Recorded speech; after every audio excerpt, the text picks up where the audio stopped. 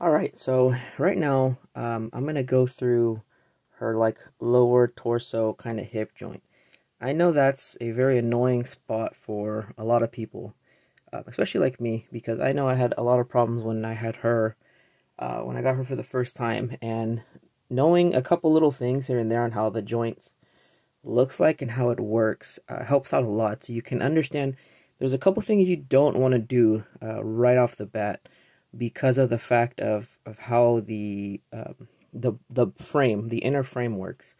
A bit of annoyance. I don't know why they designed it like this. They should have done it a different way. Uh, Volks in that in that respond.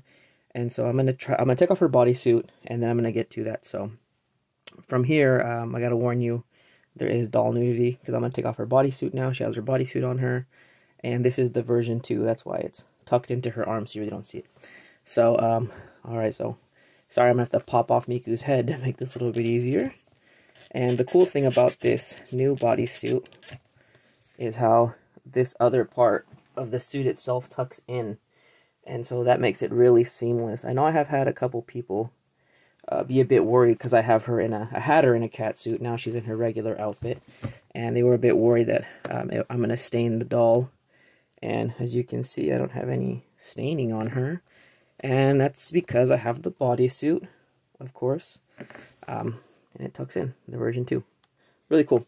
Anyways, first off, one of the main things that I realized is when you grab them by the legs, like, you know, or by the midsection, one of the things you don't want to do is extend the legs out really far without putting pressure right here on this ball joint. And the reason being is because if you just grab it from right here and push it out, you have you run a very high risk of the peg that goes this way throughout this lower part of the torso. Um, it's just a peg and it's just pressure fit. And so when that peg gets pulled, when you pull on this farther out, you slowly start to loosen it from that area. Or sometimes if you like try to like grab them from right here to like pose their feet or whatever, grab them from right here, then you run the risk of, of these two points push pulling and pushing outwards and making that annoying peg come out. and so that's one of the things I, I, recommend being careful with is like if you try to move the legs, uh, what I do is I try to put like some pressure up here at, at both joints because it's just pressure fitted on both joints or so. Or grab it with this hand to make sure it's firm. And then with this one to make sure only the joint, the ball joint moves. You can kind of hear it with that one. And the same thing with this side.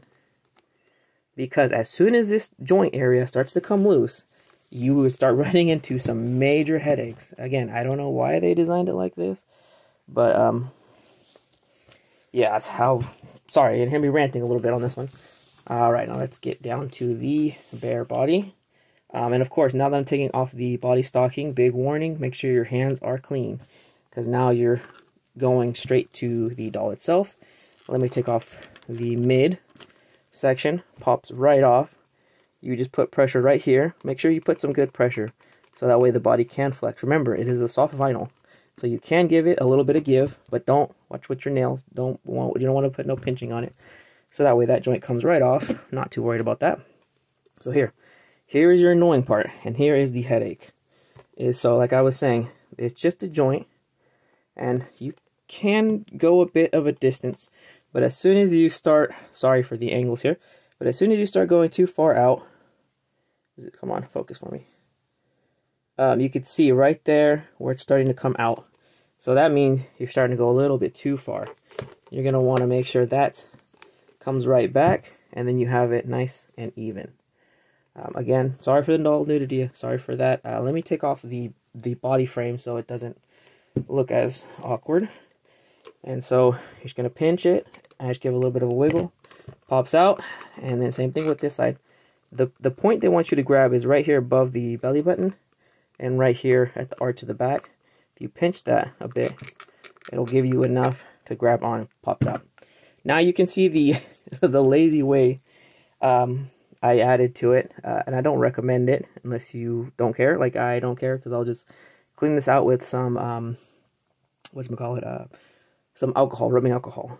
Okay, I don't mind if it gets a little gooey or tacky because um, this is mine after all. Um, so not too worried about it, but you can see how much harder it is to get out now that it's a bit tacky and I had just a piece of tape to uh, fix this problem I was having. And the problem is, like I said, you have both, focus for me buddy, the problem is, is you have both joints like this. And so when you start to push them out too far, or if they just get wiggled out over time, they'll just pop right out, pop right out. And so your main problem is this darn peg. The next part of annoyance, grab your body. Oh, I'm not going to grab it, but you're just going to want to push up and then push in towards the side. And then there is like this little pop out little peg structure.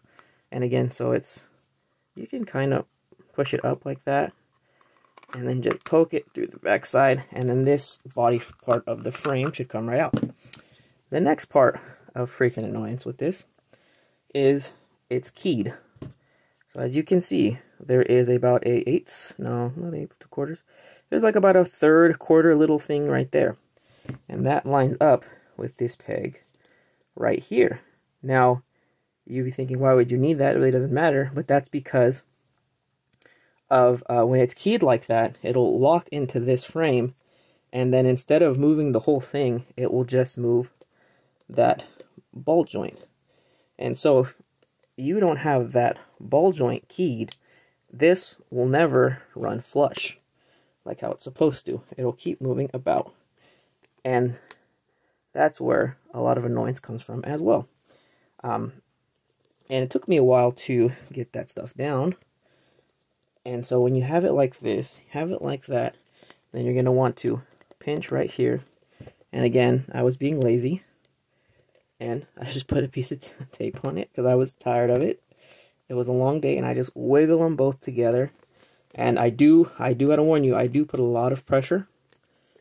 And then to get it fit nice and straight.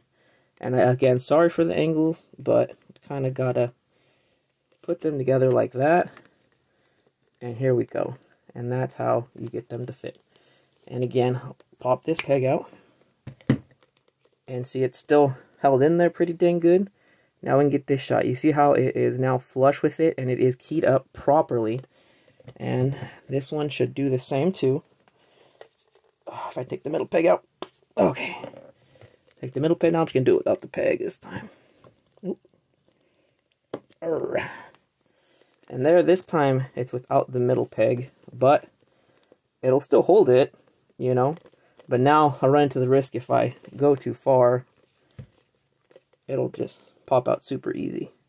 And then so again, if the if your little keyed way, if this little you know section of it is not lined up with it properly, it'll have issues, you know, popping back into place. And then with this freaking peg, um, I was thinking at one point to 3D print it a little bit longer, just so that way um, it'll just have more, um, more, more spot to grab onto from the sides, you know, which would work. But then like the offset for both of the the leg positionings would be wider, you know. And so um, like you could do that. And that's what I was saying. Really was like 3D printing one, and then just going through with like the very the very fine uh, sandpaper for like the cars, the like the thousand grit or so or whatever, and then just just shaving it down and trying it, and then shaving it down, and then trying it, and then shaving it down and trying it. Um, now, if you're able to somehow get more pegs like this, uh, the other thing I could think of is the old school way of like old action figures. Um, and what they would do is you just get um, super glue. And again, this is at your own your own discretion, at your own way. And so you get the super glue, and just to add like millimeters upon millimeters of just something extra for it to grab onto is you just put just a just a drop just a you know just a little drop of it just so there's a very fine coat you know all around the surface then you let it dry and then so now you have a surface on it and so that's kind of what I did with the tape was I just put a little thing of tape little thing of tape on this side just so it's slightly bigger just so it's so much more tighter into the thing um, and then when I put it in there and everything there so that'll be a nice you know, snug fit. Whereas this, when you first get it, is really uh, loose. Uh, I mean, it has, it's a good fit, but for me, like, any movement, you know, any movement that I would do, and the leg would just pop off, and I would just get so freaking annoyed. And so I got tired of that. so that's why I put tape in that day, because I was just done with it, you know. And so, um, there was that idea I had of just putting the little drop and then sanding it and then trying it and then another little drop and then sanding and drying it. But the problem with that is you have to do that over and over and over again. And then you would be running into modifying uh, this original part. And I know some people are not going to want to do that. And so that's the other thing. The other thing I was thinking about doing was just going down to the um, arts and craft store or wherever and then just taking this with me and then getting a, a wooden dowel and then getting this leg and then trying it and of course get one that's slightly bigger and then sand it and then try it until it's like nice and secure fit that was the other thing i was trying um, and the other thing i was thinking about doing but um, as far as i could think of just putting a piece of tape on it and not caring about it because it's mine uh, my Dollfie Dream at the end of the day so i really don't care about that you're really never going to see it and yeah i mean you could say it's a bit gunky dirty or messy but um, a little bit of rubbing alcohol with some Q-tips, th uh, that'll clean that up. I, am really not worried about this part of the doll itself. And so, um, all right, again, I'll try to run through this real quick. So, oh yeah, one thing you want to do too is, is make sure these guys get lined up. So you're going to want to, you know, push that in all the way into the peg. And then make sure it's up and against the body. And you could pinch this ball joint to make sure you got it where you want it and then grab the keyed, the keyed way of this, like that. And then I just like to line it up with this. And I give it a good press because I am annoyed of this freaking joint. Alright, and when I feel like it's in, you know, then we're good. You know? Oh, wait, I forgot to put it back in the body. And to put this back into the body, you could do whichever side, it doesn't matter. But this little back little structure that's on the back and then this little front forward looking arch is on the front so you pop it in and it should just go right into place and then to keep it there you're going to want to put pressure on that back so now you can see where I put that pressure on her okay now let's try that again. So make the make sure this is all the way down. Put pressure. You can see me putting pressure on that. And then push this in. Until that key joint is up in there. Okay, so there's that one leg. And then same thing with this side is grab this inner structure, the the body frame, and until it's like protruding a bit out, like so. And then grab the other leg, in this case her leg, and pinch it at the same point and sorry, I'm looking through both at the same time. And then I just wiggle it back and forth until I feel like I got it. Again, it's kind of a blind, awkward area moment. But when I could sit her down like that, that's when I know that she is solid. And again, you're going to want to grab and turn. And turn it, and turn it like that. Or one leg at a time. Make sure you have constant pressure. I just like to have constant pressure. And I know where her frame is at. Once you know like where the frame is at, that does help out a lot too.